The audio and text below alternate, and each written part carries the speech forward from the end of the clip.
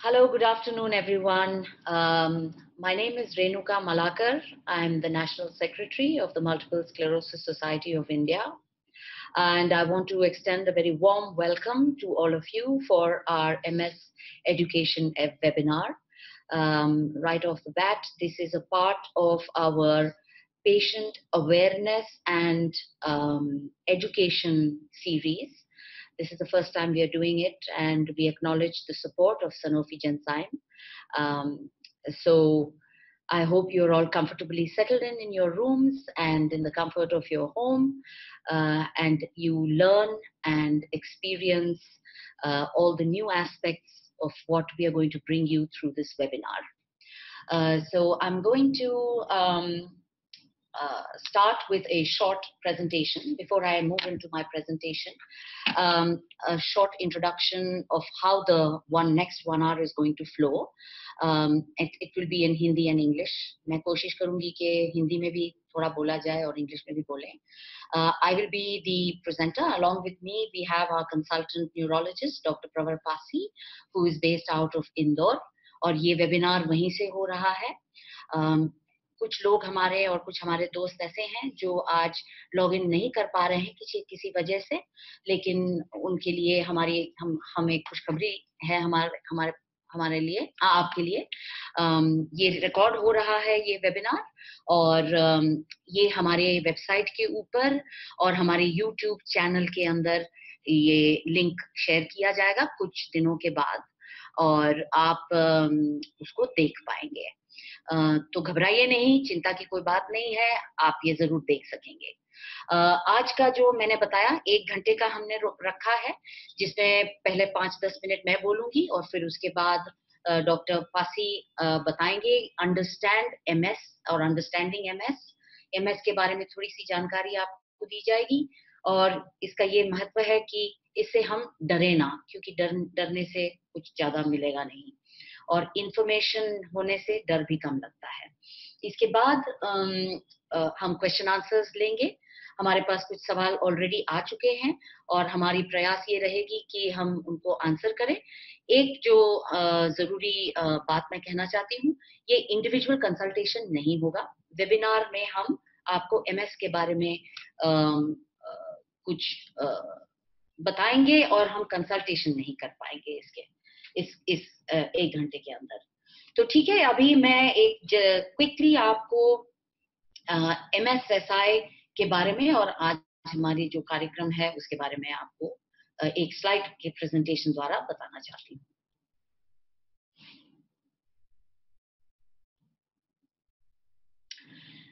तो आप लोगों के पास ये आया होगा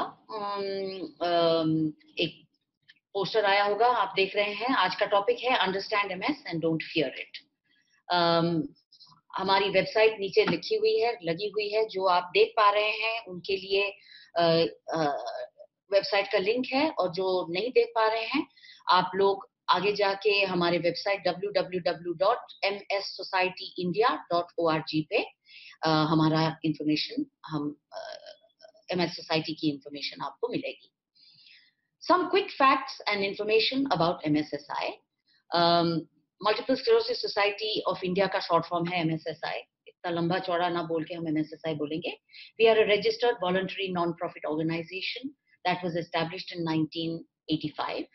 We are affiliated to the MSIF um, uh, UK uh, which is the International Federation, Multiple Sclerosis International Federation, based out of UK.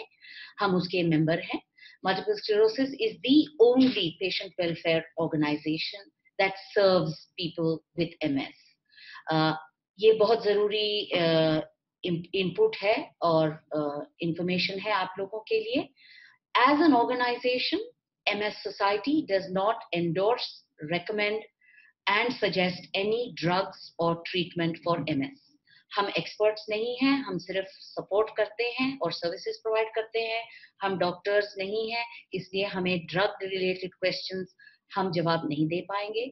उसके लिए डॉक्टर्स या आपके प्रैक्टिसिंग न्यूरोलॉजिस्ट या आपके जो न्यूरोलॉजिस्ट है, वही आपको सलाह बेटर तरीके से दे पाएँगे।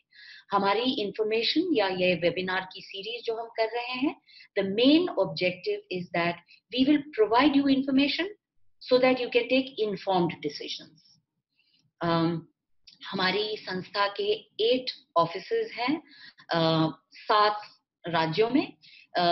एट ऑफ़िस हमारी बैंगलोर चेन्नई दिल्ली हैदराबाद इंदौर कोलकाता मुंबई एंड पूना में है।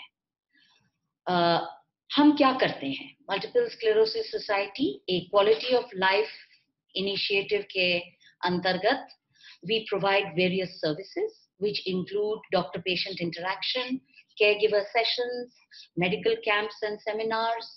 हम होम नर्सिंग केयर प्रोवाइड करते हैं अलग अलग जगहों में। हम फिजियोथेरेपी प्रोवाइड करते हैं हमारे बेड रिटन पेशेंट्स के लिए। हम उनके बच्चों को या उनके कॉलेज गोइंग स्टूडेंट्स को स्कॉलरशिप भी देते हैं। काउंसलिंग बहुत ज़रूरी है हम काउंसलिंग करते हैं। योगा तो है ही हम लोग जब रिक्वायरमेंट होती है तो हम ऑल्टरनेटिव थेरेपी एंड योगा भी सेशंस करवाते हैं हमारे ऑफ़िस के थ्रू ये वाला जो कार्यक्रम है, ये हमारे patient education and awareness initiative है और ये M S education webinar series है. So what is objective really of these webinars very quickly our vision and mission our mission mainly is to spread awareness about M S क्योंकि अभी भी काफ़ी लोगों में, आम जनता में इस बीमारी के बारे में ज़्यादा कुछ पता नहीं है जनरल प्रैक्टिशनर्स को भी ज़्यादा कुछ पता नहीं होता है और हमारा मकसद ये है कि जितनी अवेयरनेस बढ़ेगी, उसमें लोगों को ये पता चलेगा कि ये एमएस के सिम्टम्स क्या होती है और इसमें डायग्नोसिस जल्दी हो सकता है क्योंकि most important is early diagnosis इस वेबिनार सीरीज़ के अंतर्गत हम एमएस रिलेटेड टॉपिक्स को लेंगे, हमारे एक्सपर्ट्स बात करेंगे इसके ऊपर हमारा दूसरा ऑब्जेक्टिव ये है कि we will be bridging the gap of information which is existing we will also be able to reach out to all our new MS persons who have just been diagnosed uh, so that they come in touch with our support group and we support each other and not to be fearful and get um, worried कि अब क्या होगा and of course आप लोगों को ये बताना है कि हम एडवोकेट करते हैं rights of person with M S के नीड्स को। So these are the basic objective ये स्क्रीन में शायद आपको दिख रहा होगा।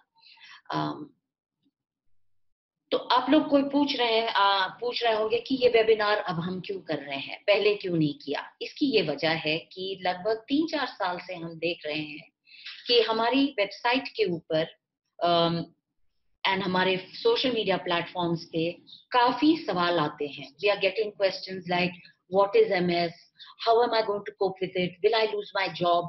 How will i improve the quality of my life?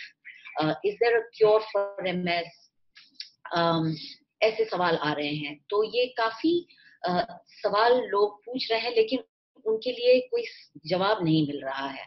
And what is happening is that लोग इतने बिज़ी हैं अपने काम धाम में they don't have the time to either go to a doctor or they have um, to take leave and go to the doctor. So through this webinar, we will provide you some sort of general information. जब internet में ये information मिलता है लोग को panic हो जाता है they go into anxiety they have depression and then there are all other related issues हमने ये भी देखा है कि हमारे स्टेक होल्डर्स जो कि गवर्नमेंट ऑफिशियल्स है जो डॉक्टर्स हैं जो policy makers हैं even they are not aware of what impact MS has financially, socially, and otherwise, psychologically, what is the impact of MS? So that is also another reason why we are doing these MS uh, webinars because everybody can join in. And finally, um, जो unmet need है हमारे जो net savvy, tech, tech savvy लोग जो अपने office छोड़ के हमारे सेंटर्स में नहीं आ सकते हैं they can attend these webinars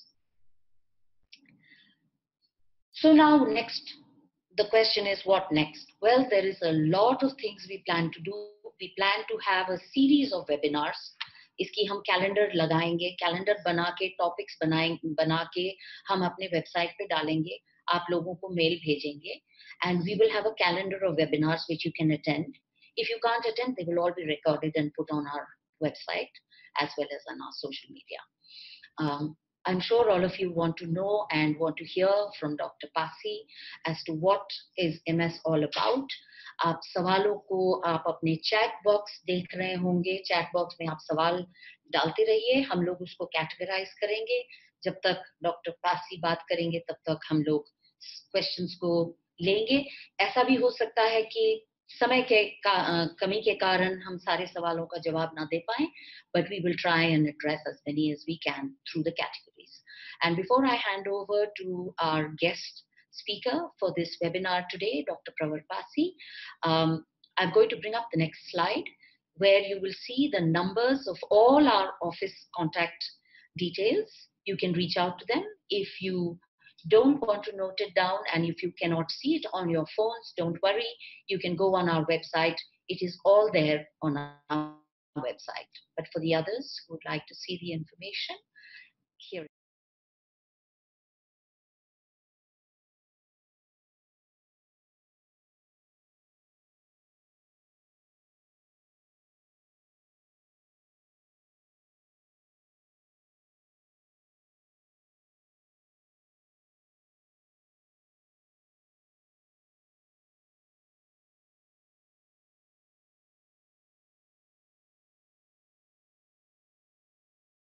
Next speaker is going to be um, Dr. Pasi, and I will hand over to him. Thank you.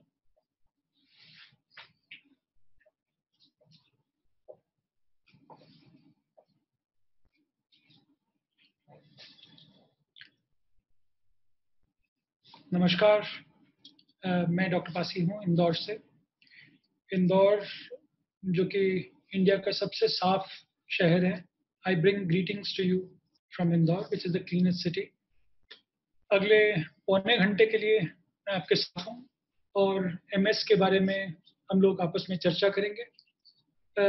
आप बेझिझक सवाल पूछते रहिए क्वेश्चंस पूछते रहिए और यहाँ पर फुल टीम है। जब संकेत और रेणुका मिलकर क्वेश्चंस को स्क्रीन करेंगे और वो मेरे तक क्वेश्चंस देते रहेंगे। कुछ क्वेश्चंस ऑलरेडी आ चुके हैं। पहला सवाल लेने से पहले मैं कुछ चीज़ें आपको बता दूँ एमएस के बारे में। पहली चीज़ है कि मल्टीपल स्क्लेरोसिस इतनी भयंकर प्रॉब्लम नहीं है जितना कि लोग सोचते हैं। प्रॉब्लम ये होती है कि इसको हम सिलेक्शन बायस बोलते हैं मेडिसिन में। सब लोग जानकारी के लिए इंटरनेट पे जाते हैं इंटरनेट में ओ I was okay then I became I had a cane और फिर मेरे को व्हील चेयर की ज़रूरत पड़ी और अब मैं स्ट्रेचर पे हूँ। और मेरे मौसी के साथ भी हुआ, मेरी कज़न सिस्टर के साथ भी हुआ और इस तरह के ब्लॉग्स चलते रहते हैं, इस तरह का सोशल मीडिया पे स्टोरी चलती रहती है, इस तरह के लोग अपने लाइफ की स्टोरी लिखी जाती है। पर होता ये है कि सिर्फ़ इसको सिलेक्शन बायस कहते हैं, सिर्फ़ वो लोग जो कि बहुत परेशान होते हैं वही तो जाके लिखेंगे जो ठीक ठाक है, जो टेनिस खेल रहा है, जो स्विमिंग कर रहा है, या जो पूरी नॉर्मल दिनचर्या अपनी निकाल रहा है, उसके पास ना टाइम है, ना उसके पास इच्छा है कि वो इस तरह का ब्लॉग लिखे। तो ये चीज़ को आप ध्यान में रखिए कि जो आप एक्सेस कर रहे हैं इंटरनेट पे, वो एक बायस्ड व्यू है, वो असली पिक्चर नहीं है। सिर्फ़ जो लोग ज़्यादा परेशान हुए हैं, वही लोग आकर वहाँ पर लिखे हैं। इसलिए आपको भी लगता है सबका वही हाल होगा, सबका हालत खराब होगा, सब बिस्तर में आएँगे, सबका यूरिन कंट्रोल खत्म हो जाएगा। Where is that is not the true picture that is a very skewed picture वो एक बहुत एक्सट्रीम एग्ज़ाम्पल होता है, क्योंकि जो लोग ठीक रहते हैं, जो लोग स्वस्थ रहते हैं, जो लोग कंट्रोल में रहते हैं, वो लोग तो आकर बताते ही नहीं है, वो लोग तो उसके बारे में बात करते ही नहीं है। जिस तरह से हम लोग कहते हैं कि no news is good news so bad news is always internet news and it's always put in loudly and all over the internet ये चीज़ मैं सबसे MS is not as bad as it appears to you through various blogs through various internet sites and as through various articles which are written up online इसमें ups and down होते हैं शुरू शुरू में, और जो डाउन जाते हैं, उनको हम दवाई दे के प्रिकॉशंस करके फिजियोथेरेपी करके, उनको काफ़ी हद तक इम्प्रूवमेंट किया जा सकता है। तीसरा चीज़ जो मैं आपको बताना चाहता हूँ कि मेडिसिन में नई नई दवाइयाँ नए नए प्रोसीजर्स नए नए सर्जरीज का खोज निरंतर होते जा रही है। और मैं आपको एक डॉक्टर के नाते बता सकता हूँ कि एमएस में जिस तरह से पिछले 10-15 सालों में दवाइयों का एक्सप्लोजन हुआ है, वो शायद ही और किसी बीमारी के लिए हुआ है। तो पहले, आज से 15 साल पहले की स्टोरी आज टोटली बदल चुकी है और अब हमारे पास बहुत इफ़ेक्टिव दवाइयाँ हैं। उनके दाम भी बहुत रीजनेबल हो गए हैं। बहुत सारी ऑप्शंस हमारे पास हो गई हैं एमएस पेशेंट्स को ट्रीट करने के लिए। तो ये तीन चीज़ें बताते हुए मैं अब क्वेश्चंस देना शुरू करूँगा और आप क्वेश्चंस अपने बिंदास होके पूछते जाइए। संकेत और रेणुका स्क्रीन करके मेरे पास लिख के क्वेश्चन देते रहेंगे। और ये आपका, आपको फिर से याद दिला दूँ कि ये इंडिविजुअल कंसल्टेशन देने का न समय है, न तरीका है और न ही प्लेटफॉर्म है। तो बाकी आपको एमएस रिलेटेड जो भी सवाल हो, आप पूछिए और उनको आगे जवाब दिए जाएँगे। तो एक सवाल मैं सबसे पहले ले रहा हूँ, वो है प्रीति बेरी का उसने पूछा है उन्होंने पूछा है why are most of us not able to address the problem and hide in a shell ये एक कॉमन चीज़ है। ये हर व्यक्ति के साथ होता है। ये एमएस के लिए खास नहीं है। ये हर बीमारी के साथ होता है, हर प्रॉब्लम के साथ होता है। पाँच सात साल पहले, दस साल पहले जब मैं गंजा होना शुरू हुआ, तब मेरे को लगा कि नहीं, मैं गंजा नहीं हो रहा हूँ और मैं अपने बाल को दूसरी तरह से सेट करता था, थोड़ा सा ज़्यादा क्रीम लगा के कम क्रीम लगा के, मैं इसको डिनायल बोलते हैं। और मैं भी डिनायल में था कि नहीं, मैं गंजा नहीं हो रहा हूँ। इसी तरह से एमएस में, इसी तरह से गंजेपन में, इसी तरह से कैंसर के लिए, इसी तरह से पार्किंसंस के लिए, हर बीमारी में एक फ़ेज़ होता है, इसको डिनायल बोलते हैं। और वो एमएस का कोई खास नहीं, ये व्यक्ति विशेष का एटीट्यूड रहता है। और आमतौर पे लोगों का एटीट्यूड रहता है कि नहीं, मेरे को नहीं हो रहा है। तो ये छोटी सी चीज़ है डिनायल और कोशिश करके इसको रिकग्नाइज करना चाहिए और इसको जितना कम करेंगे, उतना जल्दी आप इससे बाहर आएँगे और आप ट्रीटमेंट लेना चालू करेंगे और आप ट्रीटमेंट के बेनिफिट्स उठाना शुरू करेंगे। तो इसको डिनायल बोलते हैं, ये कोई बहुत बड़ी चीज़ नहीं है। इसको रिकग्नाइज करें और थोड़े दिन में आप एडजस्ट हो जाएँगे, एक नया नॉर्मल आ जाएगा।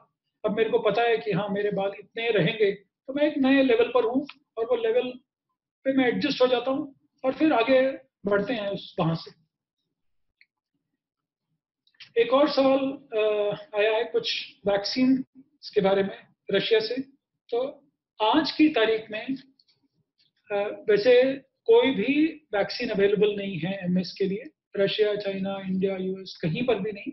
तो ऐसा अगर कोई वैक्सीन का बात करता है तो वैज्ञानिक रूप से वो बेबुनियाद है और उसमें कोई दम नहीं है। इस पॉइंट पे मैं एक और बात आगे बढ़ा दूँ कि चूँकि एमएस एक वैक्सीन वेनिंग बीमारी है कभी प्रॉब्लम बढ़ती है फिर कम होती है फिर बढ़ती है फिर कम होती है। तो इसलिए कई लोग जो मेरे को बोलना चाहिए कि जो लोग बुद्धू बनाना चाहते हैं वो इस, वो भी इसमें आ जाते हैं कि वो कुछ भी ट्रीटमेंट देते हैं और वो अगर पेशेंट इंप्रूवमेंट वाले फ़ेज़ में होता है तो उस समय कुछ भी काम कर जाएगा।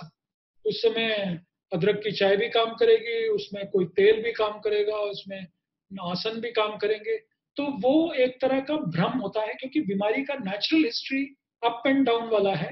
इसलिए उस चीज़ को रिकग्नाइज करें और हमेशा आपको लगे कि कोई नया ट्रीटमेंट आया है तो अपने लोकल डॉक्टर अपने लोकल न्यूरोलॉजिस्ट के साथ डिस्कस करें, क्योंकि न्यूरोलॉजिस्ट को इस चीज़ का आइडिया रहता है। वो पढ़े हुए हैं कि क्या नया ट्रीटमेंट है क्या करेक्ट ट्रीटमेंट है? क्या ट्रीटमेंट है जो वैज्ञानिक रूप से आपके लिए करेक्ट रहेगा? इसी सिलसिले में मैं आया। थोड़ा सा कॉम्प्लिकेटेड बीमारी है। तो कई लोग रहते हैं कि डॉक्टर चेंज करते रहते हैं। तो ये आप जहाँ तक हो सके अवॉइड करिए। अपने डॉक्टर के साथ लगे रहिए। और अगर आपका डॉक्टर एम एस स्पेशलिस्ट है तो और बेहतर है। पर एक डॉक्टर के साथ लगे रहना बेहतर है, क्योंकि वो आपकी बीमारी को पूरी तरह से समझ चुका है और फिर आपको करेक्टली वो राय देते रहेगा। आपके लिए जो करेक्ट ओपिनियन रहेगा, जो करेक्ट दवाई रहेगी, जो करेक्ट फिजियोथेरेपी रहेगी, जो करेक्ट कोर्स ऑफ़ एक्शन रहेगा, वो आपको बताता रहेगा। ये था सवाल इसका वैक्सीन के बारे में।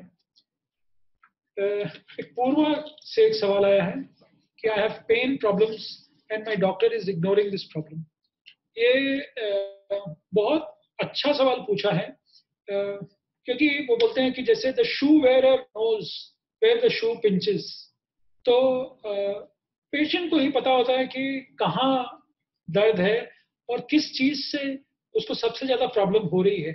तो pain is important part of MS और ये हमारा, मैं सब फोरम में बोलता हूँ, ये हमारी जिम्मेवारी नहीं, ये हमारा धर्म है कि हम पेशेंट को एक पेन फ्री लाइफ दे सकें। तो पेन अगर होता है सिग्निफिकेंट पेन होता है तो आप बार बार ज़िक्र करिए उसके बारे में अपने न्यूरोलॉजिस्ट से बार बार बात करिए। और pain is one of the easiest things to handle in MS is one of the easiest things to handle. तो बार बार अपने न्यूरोलॉजिस्ट को कहिए कि इसको कैसे हेल्प किया जाए। तो दवाइयाँ प्रिकॉशंस एक्सरसाइजेज वो सब आपको डॉक्टर बताकर आपको आपके पेन को कंट्रोल कर पाएगा।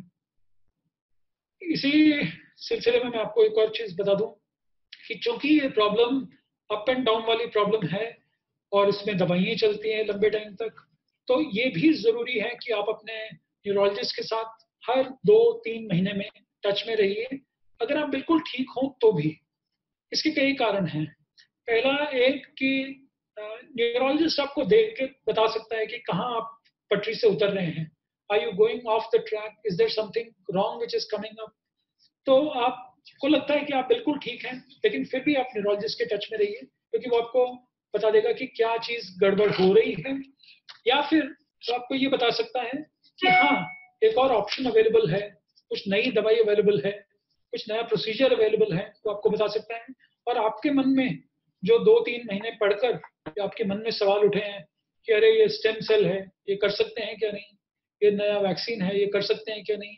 क्या मैं शादी कर सकती हूँ कि नहीं? क्या मेरे बच्चे को ये प्रॉब्लम होगी कि नहीं? तो जो आपके मन में सवाल आते हैं, वो आप अपने न्यूरोलॉजिस्ट से डिस्कस कर सकते हैं। तो हर दो महीने, तीन महीने जैसा भी फिजिबल हो, अपने न्यूरोलॉजिस्ट के साथ टच में रहिए। Even if you are doing completely all right. I'll take the next question, and this question is from Anuj, and he says, "Do we need to take any food precautions?" आप online पढ़ोगे तो आपको हज़ारों answers मिलेंगे आपको gluten free diet मिलेगी आपको vegan diet मिलेगी आपको milk free diet lactose free diet बहुत सारी डाइट्स आपको एडवाइस करी जाएँगी लेकिन आज की तारीख में वैज्ञानिक तौर पे कोई ऐसा डाइट नहीं है जो कि एमएस के लिए एक तरह का ट्रीटमेंट हो सके। But at the same time having said that मैं ये बोलूँगा कि फ्रूट्स का इंटेक सफिशिएंट रहा करे फाइबर का इंटेक सफिशिएंट रहा करे। बहुत सारे पेशेंट्स को कॉन्स्टिपेशन की प्रॉब्लम होती है तो फ़ूड एंड फाइबर का इंटेक स्प्राउट्स का इंटेक सफिशिएंट रहे तो लाइफ बिकम्स इजियर विटामिन का इंटेक सफिशिएंट हो जाता है।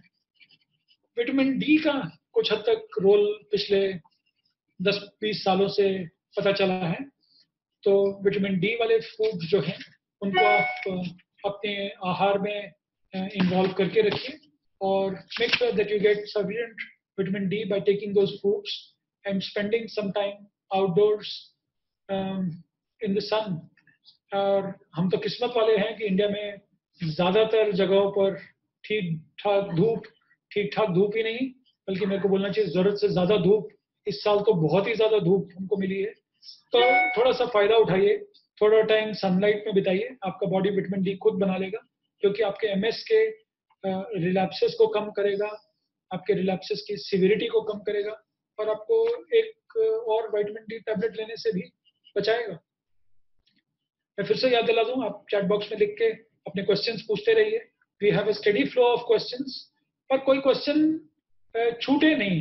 और मेरे टीचर्स हमेशा ये बोला करते थे कि there is nothing like a stupid question the only stupid question is the one which has not been asked तो डरिए मत, बिंदास होकर सवाल पूछिए। यहाँ पे हम छाट रहे हैं और सवाल का जवाब देके हमको खुशी होगी कि हम किसी को हेल्प कर पा रहे हैं। हमारी पूरी टीम को खुशी होगी कि हम किसी को हेल्प कर पा रहे हैं।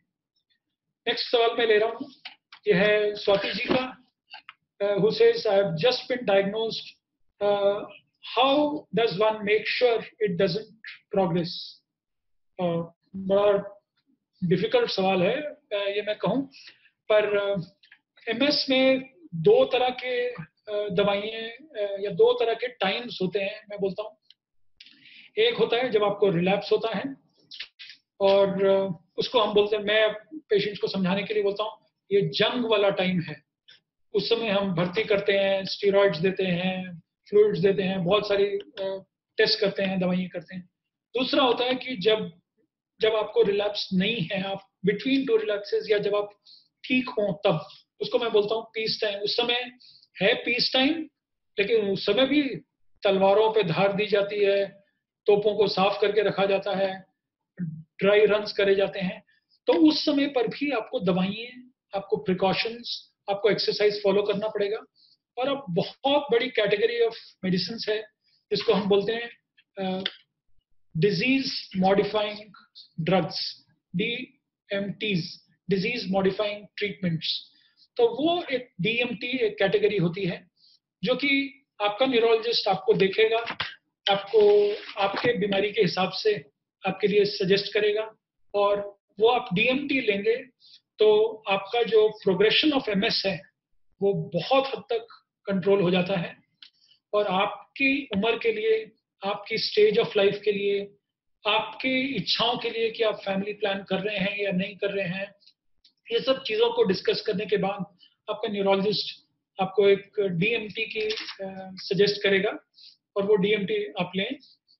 And that will be your best bet for taking you further So that is about uh, making sure that things do not progress once you have been diagnosed with MS. The next question which I have is Sadhna ji ne pucha hai कि I suffer from RRMS जिसको हम remitting relapsing MS बोलते हैं uh, which relapses frequently why is that happening and any precautions that I can take ये पिछले सवाल का ही एक तरह से एक्सटेंशन है और ये बीमारी का स्वभाव है। ये मैं आपको बेस्ट बोल सकता हूँ। जैसे किस, किसी बीमारी का स्वभाव, जैसे जुकाम का स्वभाव है, सात दिन में ठीक हो जाना अच्छा आठ दिन में ठीक हो जाना। किसी बीमारी का, हड्डी का फ्रैक्चर का स्वभाव है, तीन महीने में ठीक हो जाना, चाहे टेढ़ा मेढ़ा जुड़ के ठीक हो जाना। इस तरह से एमएस का आर आरआरएमएस का स्वभाव है अप डाउन होना। और वो अप डाउन क्यों होती है, इसके लिए बहुत सारी थ्योरीज हैं।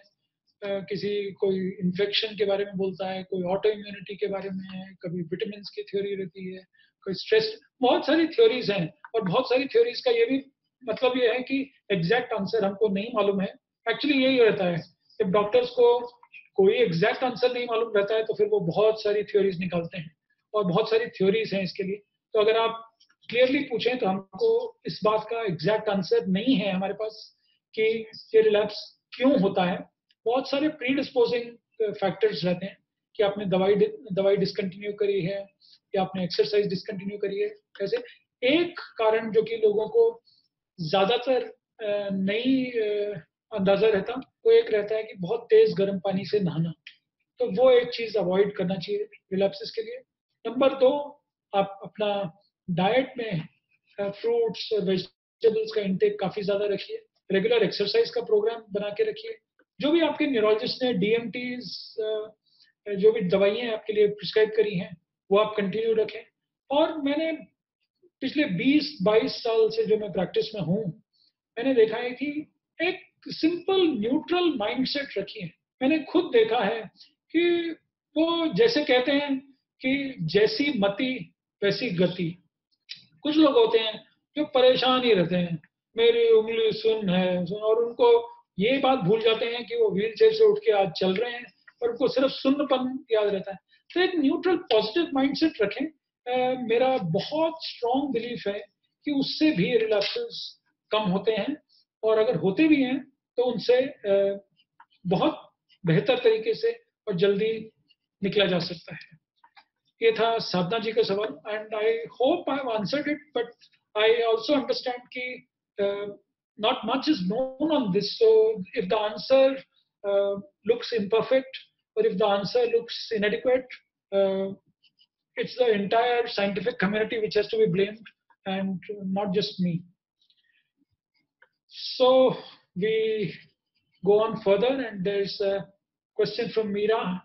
Does life expectancy of a person become less if he's, he, she is suffering from MS? क्या जो उम्र है, क्या वो कम हो जाती है यदि किसी को मल्टीपल स्क्लेरोसिस है? तो इसका तो बहुत क्लियर आंसर है कि ज़्यादातर लाइफ एक्सपेक्टेंसी पे फ़र्क नहीं पड़ता है। एमएस की वजह से आपकी बाय एंड लार्ज उम्र में ज़्यादा अंतर नहीं पड़ता है। इन कंपैरिजन टू कोई और बीमारी जैसे स्ट्रोक या हार्ट अटैक या कैंसर ठीक है, थोड़ा सा प्रॉब्लम रहता है कभी कभी कि अगर आप उतना अच्छा चल नहीं सकते हैं तो आपको मसल आपके वीक होते हैं। अगर आपका बैलेंस उतना अच्छा नहीं है तो आपको गिरने की संभावना ज़्यादा रहती है। बट मोटा आंसर इसका है कि लाइफ एक्सपेक्टेंसी पे कोई खास असर नहीं पड़ता है। आपकी क्वालिटी ऑफ़ लाइफ पे थोड़ा सा असर पड़ता है कि कुछ चीज़ें हैं जो आप नहीं कर पाते हैं। But life expectancy you can expect pretty reasonably all right life expectancy, uh, irrespective of whether you have MS or not.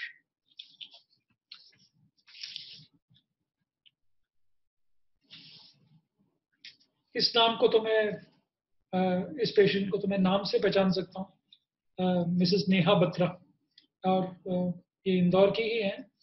और नेहा ने पूछा है the ways to handle spasticity और मैं आप सबको बता दूँ कि ये नेहा इतने मेरे से सवाल पूछती है जब वो आती है, इंदौर से है, इतने मेरे से सवाल पूछती है। और वो किसी भी न्यूरोलॉजिस्ट से ज़्यादा एमएस के बारे में जानती है। वो और उनके हस्बैंड मनीष बत्रा, मिलके वो मेरे को बचे खुचे बाल भी मेरे को खत्म करने पे तुले हुए हैं। They trouble me so much with so many questions but I am happy कि वो इतना पढ़ते भी हैं और इतने इन्वॉल्व भी हैं। और मैं बाकी पेशेंट्स को बोलता हूँ कि ये हमेशा टू वे प्रोसेस रहता है और टू वे डायलॉग रहता है। तो हमेशा उसका इफ़ेक्ट एक और एक मिलके दो नहीं, एक और एक मिलके ग्यारह रहता है। न्यूरोलॉजिस्ट को भी लगता है कि हाँ पढ़ के जाना पड़ेगा। हाँ आंसर तैयार करना पड़ेगा। हाँ इसका क्लियर जवाब देना पड़ेगा। और अगर आप इन्वॉल्व रहते हैं तो you will always get better care you will always be a more inform patient और आप एक और काम बहुत बड़ा कर रहे हो कि आप डॉक्टर को बोल रहे हैं, चाबुक लगा लगा के कि पढ़िए और हमको जवाब दीजिए। तो नेहा के सवाल पे वापस जाते हैं। स्पेसिसिटी के द वेज टू डील वैसे नेहा, मैं तुमको शॉर्ट आंसर बता दूँ। जो भी है, सब तुम्हारे लिए किया जा चुका है। लेकिन for the benefit of others सबसे बड़ी चीज़ जो स्पेसिसिटी को हेल्प करती है वो है फिजियोथेरेपी ये कहना आसान होता है, पर लोग नहीं फॉलो करते। आदतों को बदलना बहुत मुश्किल होता है। और पर फिजियोथेरेपी अगर आप अच्छे से करेंगे तो बहुत हद तक आपकी स्पेसिसिटी खास करके पैरों की स्पेसिसिटी कंट्रोल हो जाती है। उसके बाद अगर फिजियोथेरेपी से सफिशिएंटली नहीं होती है तो फिर आपके लिए दवाइयाँ रहती हैं, जो आपके न्यूरोलॉजिस्ट और पूरी टीम मिलके डिसाइड करेगी और वो आपको दवाइयाँ बताएगी। बहुत एक्सट्रीम केसेस में हमको सर्जरी पर भी जाना पड़ता है, कि जब बहुत ज़्यादा स्पेसिसिटी होती है, पर वो सर्जरी आमतौर पे लोगों के लिए ज़रूरत नहीं रहती है। दवाई प्रिकॉशंस और आ, कुछ हम इंजेक्शंस कभी कभी लगाते हैं कुछ पेशेंट्स के लिए जिनकी स्पेसिसिटी बहुत ज़्यादा होती है पर वो फिर एक इंडिविजुअल डिसीज़न होती है। और आपके लिए for most of the patients for most of the caregivers ज़्यादातर मैं आपको कहूँगा कि आप थेरेपी को इग्नोर मत करिए। थेरेपी एक बहुत इंपॉर्टेंट पार्ट है और बहुत अंडर प्लेड पार्ट है। तो उस पर आप हमेशा ध्यान दीजिए और that will help you control spasticity and reduce your requirement for medicine as well हमारी टीम लगातार लगी हुई है और भुवनेश्वर से दीपाली का फ़ोन दीपाली का मैसेज है सवाल है what triggers immune cell to attack myelin is it primary demyelination or axonal damage? Wow. ऐसा सवाल मेरे से पहले 22-25 साल पहले शायद मेरे डीएम एग्ज़ाम के टाइम पर पूछा गया था। So again we don't know the answer that is the short answer theories हैं कि एप्स्टीन बार वायरस से इन्फेक्शन होती है और शायद एक एप्स्टीन बार वायरस का जो अपियरेंस है इम्यून सेल्स उसको माइलिन से कंफ्यूज करते हैं और वो अटैक करते हैं एप्स्टीन बार वायरस को और अटैक हो जाता है माइलिन और माइलिन अटैक होता है गलती से जबकि एक्चुअली एप्स्टीन बार वायरस को अटैक करना था। और फिर माइलिन अटैक होता है, उसके बाद एक्सोनल डैमेज सेकेंडरी है। तो आपके कुछ हद, कुछ सवाल का पार्ट तो मैं बहुत कॉन्फिडेंटली दे सकता हूँ कि प्राइमरी प्रॉब्लम होता है डीमाइलिनेशन और एक्सोनल डैमेज जो होता है वो सेकेंडरी होता है। और पर सवाल फिर आप ऑब्वियसली नेक्स्ट सवाल पूछ सकते हैं कि वो प्राइमरी डीमाइलिनेशन क्यों हो रहा है? तो उसके लिए वही मैं बोल रहा था कि थ्योरीज हैं। एक ऑटो इम्यूनिटी का बैकग्राउंड होता है विटामिन डी की कमी होती है, कुछ जेनेटिक्स होता है, कुछ एप्सटीन बार वायरस का इन्फेक्शन होता है। ये सब मिलाकर, अब हमको ये भी नहीं मालूम कि किसका रोल ज़्यादा है, किसका कम है, पर ये सब मिलाकर एक ऑटो इम्यून रिस्पॉन्स तैयार होता है, जो कि मिस फायर करता है। था वो किसी और के लिए और जाता अटैक करता है किसी और पर कि वो गोली चली थी किसी किसी के लिए और लग जाती है माइलिन पर और फिर ये प्रॉब्लम होना शुरू हो जाती है। So that is the answer to Deepali from Bhubaneswar that this is a primary uh, demyelinating event and axonal damage which occurs is secondary. And then there is a query from Neo, what are the different types of MS? Uh, मोटा मोटा चार पाँच तरह के MS होते हैं आपको लेकिन कोई बहुत ज़्यादा उनके बारे में जानने की ज़रूरत नहीं है आमतौर पे 85 परसेंट नाइन्टी परसेंट जो होता है वो रिमिटिंग रिलैप्सिंग मल्टीपल स्क्लेरोसिस होता है जिसमें कि प्रॉब्लम होती है, आप दवाई लें, ना लें एडमिट होने, वो ठीक हो जाती है। उसके बाद फिर कुछ टाइम के बाद में दूसरी पार्ट होती है। उसको हम रिमिटिंग रिलैप्सिंग एमएस बोलते हैं। दूसरा एक तरीका, दूसरा एक पार्ट टाइप ऑफ़ एमएस होता है, जिसको हम बोलते हैं प्राइमरी प्रोग्रेसिव एमएस और वो होती है जो कि शुरू से ही प्रॉब्लम शुरू होती है और वो निरंतर धीरे धीरे बढ़ती जाती है। और इसमें क्लियर कट रिलैप्स नहीं होते हैं। ये कम पाई जाती है, करीब 10 परसेंट, बारह परसेंट लोगों में प्राइमरी प्रोग्रेसिव एमएस होती है। कुछ लोगों में होती है सेकेंडरी प्रोग्रेसिव एमएस इसका मतलब है कि शुरुआत उनकी होती है रिमिटिंग रिलैप्सिंग एमएस से, और फिर उसके बाद में वो सेकेंडरी प्रोग्रेसिव एमएस फ़ेज़ में पहुँच जाते हैं। और एक चौथे तरह का एमएस होता है, जिसको बोलते हैं secondary relapsing secondary progressive relapsing MS जिसमें कि उसमें फीचर्स वो एक खिचड़ी टाइप का एमएस होता है, जिसमें कि प्रॉब्लम बढ़ती भी जाती है और उसके में छोटे मोटे रिलैप्सेस भी होते जाते हैं। ये आप, ये सवाल काफ़ी टेक्निकल सवाल है और मेरे को खुशी है इस बात की कि अगर कोई पेशेंट है जो इस तरह का सवाल पूछ सकता है या कोई केयर गिवर है तो इस तरह का सवाल पूछ सकता है, इसका मतलब है कि आपने बहुत पढ़ाई करी है, आपने बहुत सोचा है आपने बहुत मंथन किया है यार। आई एम सो हैप्पी कि इतना इनलाइटेंड लोग, इतने पढ़े लिखे लोग सवाल पूछ रहे हैं, इतना पढ़ चुके सवाल पूछ रहे हैं। मेरे को खुशी भी होती है कि इतने एजुकेटेड लोग हैं और मेरे को डर भी लगता है कि यही सब पढ़ लेंगे तो फिर हमारा क्या होगा? फिर न्यूरोलॉजिस्ट की तो वैल्यू ही खत्म हो जाएगी। इसलिए मेरे को थोड़ा सा डर लगता है और ज़्यादातर खुशी होती है कि आप पढ़ते रहते हैं। और इस तरह के डिफ़िकल्ट सवाल आप हमारे सामने भेजते रहते हैं so thanks for the difficult question I hope I get a easy question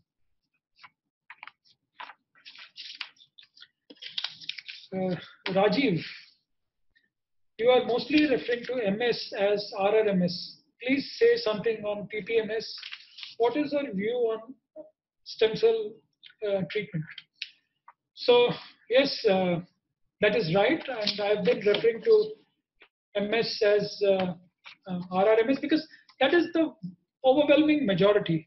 That is the 85 90% uh, part. So that is the reason why when you think of MS, you think of RRMS. That's the first thing which comes to your mind, and that is the prototype. So PPMS, uh, primary progressive MS, is the small subset. One in ten uh, people will have it. Only about 10, 12 percent people will have it. So uh, anyway, I will go ahead and say something about primary progressive MS. Primary progressive MS वो MS है uh, जिसमें कि normal MS में up down up down up down होता है। तो primary progressive MS होता है उसमें बीमारी निरंतर धीरे धीरे प्रोग्रेस करती है जैसा कि उसका नाम ही है प्राइमरी प्रोग्रेसिव मतलब शुरुआत से ही हल्के हल्के धीरे धीरे होले होले बढ़ने वाली प्रॉब्लम ये कॉमन नहीं है पहली बात।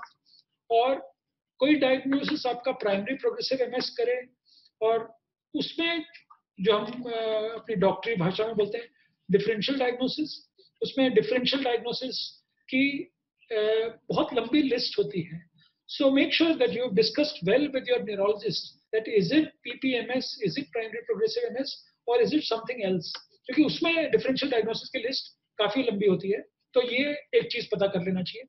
और एक चीज़ और मैं अच्छी बात प्राइमरी प्रोग्रेसिव एमएस के बारे में बोलना चाहूँगा कि till about couple of years back maybe two three years back there was really not much that we could offer for patients with PPMS but now I think we are nearly coming to good treatments for primary progressive M S also and they will soon be available with you and you should discuss with your neurologist regarding treatment for that इसी सवाल में इनका section third section है what do you say about stem cell trans uh, stem cell it is one of the treatments. Uh, ये वैसे सब लोगों को बहुत अच्छे से सुन लेना चाहिए और बहुत क्लियरली सुन लेना चाहिए क्योंकि इसमें बहुत सारे लोग बह जाते हैं बहुत सारे लोग गलती से स्टेम सेल ट्रीटमेंट करा के आ जाते हैं।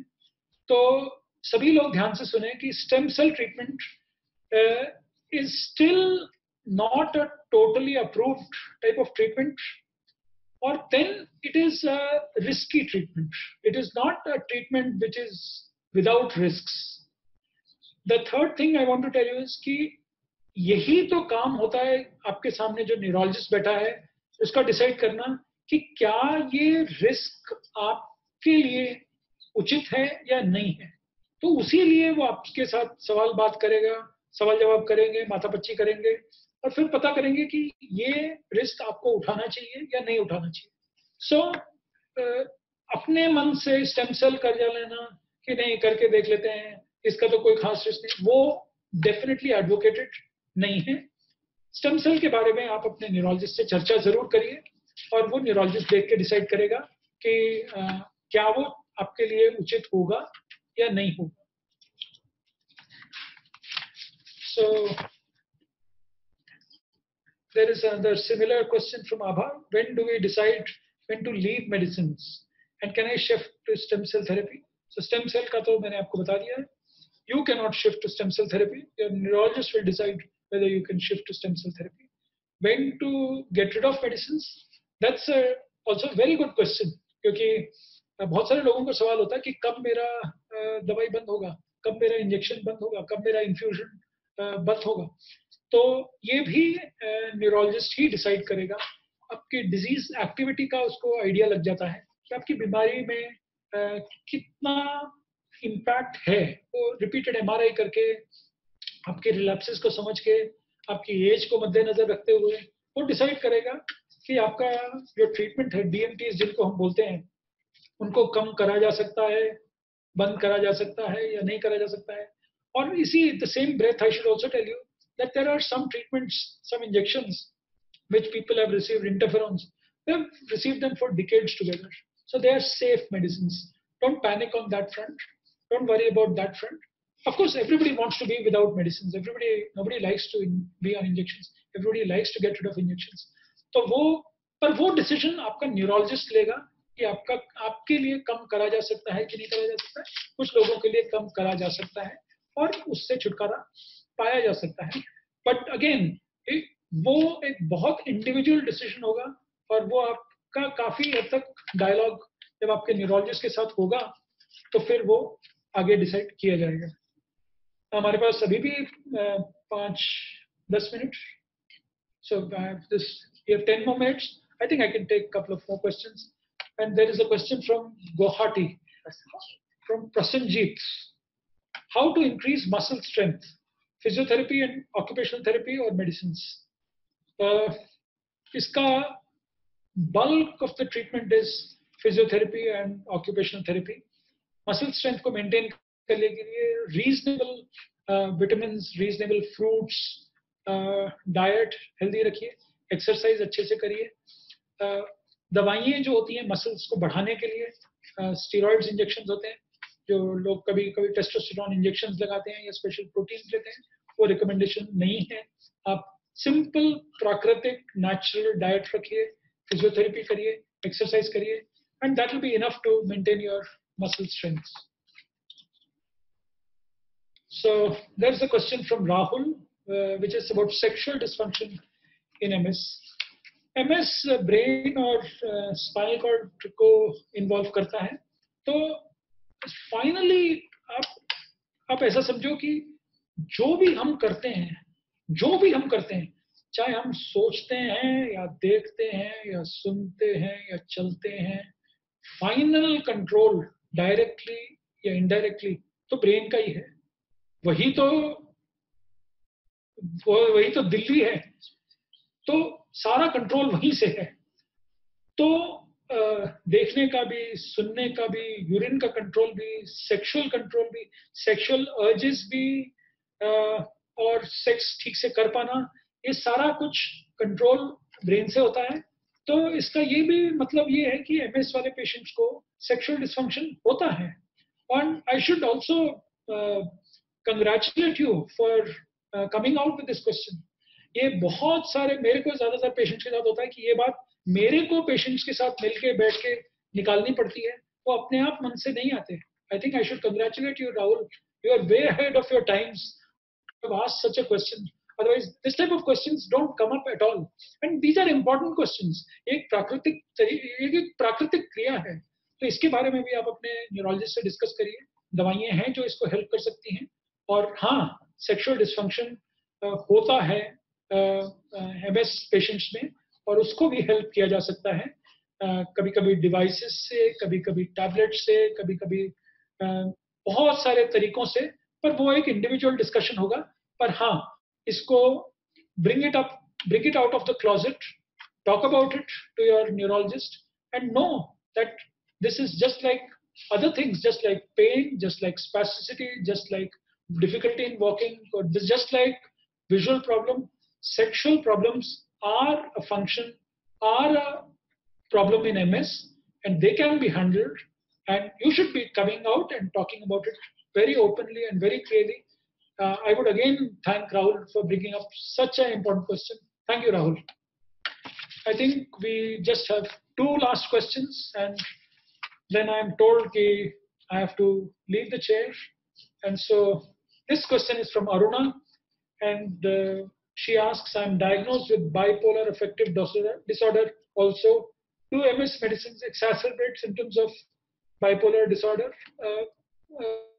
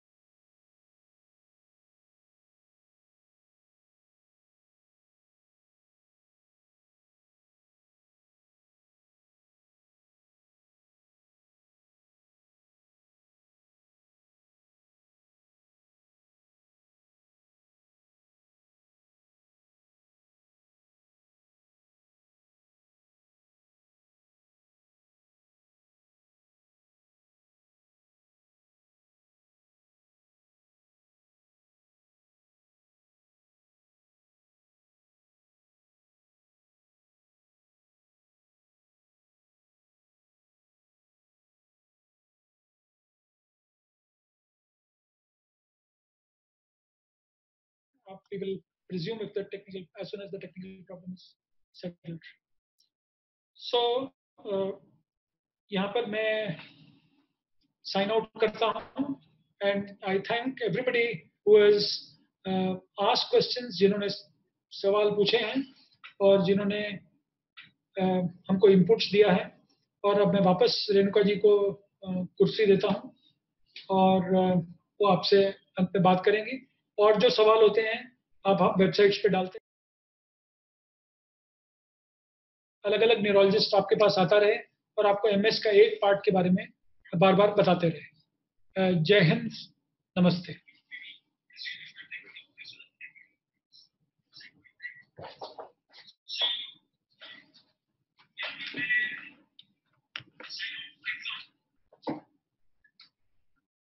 Um, so now, um, thank you very much, uh, Dr. Pasi, and I think uh, we have taken a lot of questions. Um, मैं अब एम एस सोसाइटी हमारे पास अभी 10 मिनट और है टू रैप अप साढ़े चार बजे तक हमको ये रख, हमने प्लान किया था तो कुछ एक सवाल ऐसे आए हैं जो मल्टीपल स्क्लेरोसिस सोसाइटी जवाब दे सकती है उसके और मैं थोड़ा बताना चाहती हूँ कि डॉक्टर पासी ने लगातार बगैर एक पानी का घूट पिए ही was speaking and thank you very much for that dr pasi there are a lot of questions coming in as we say there have been questions especially for medicines asking for comparative of you know tech federa versus some other medicines we are unable to take those questions because of paucity of time because and also this is not the platform but multiple sclerosis के लिए दो चार सवाल जो आए हैं वो ये है कि मल्टीपल स्क्लेरोसिस सोसाइटी रियम्बर्स करती है कि नहीं कॉस्ट ऑफ़ मेडिसिन इसका ऐसा है कि केस टू केस बेसिस पे